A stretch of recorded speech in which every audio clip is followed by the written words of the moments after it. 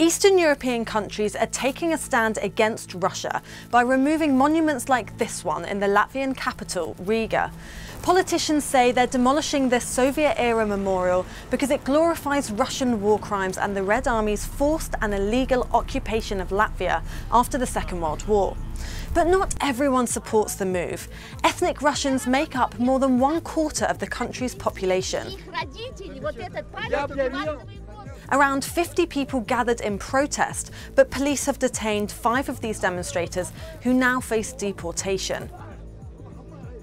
The investigative committee of the Russian Federation opened a criminal case, saying the removal of this monument is aimed against the interests of Russia in preserving the historical memory of the activities of the USSR during the Second World War and the decisive role in the victory over fascism. But Latvia isn't the only Eastern European country distancing itself from Russia. Estonia has announced that it will remove all Soviet-era war monuments, starting with this tank on the 16th of August.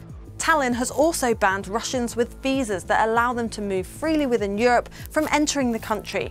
Prime Minister Kaja Kallas says that this is because of Russia's aggression in Ukraine. As Putin plans to expand its army next year, Will other Baltic countries follow in Estonia and Latvia's footsteps?